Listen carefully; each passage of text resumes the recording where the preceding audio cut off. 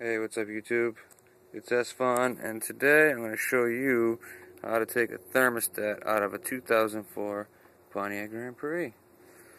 So I already did a lot of the work.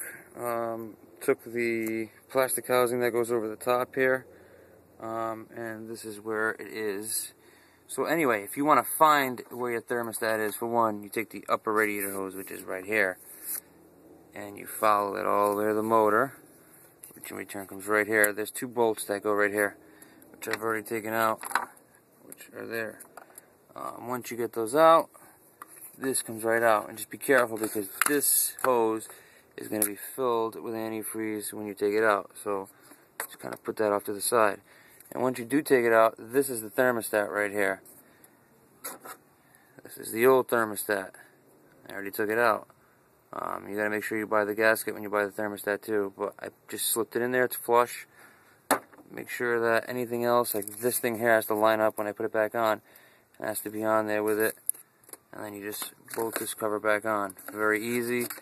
And then, of course, you put the top back on. Thanks, guys. Enjoy.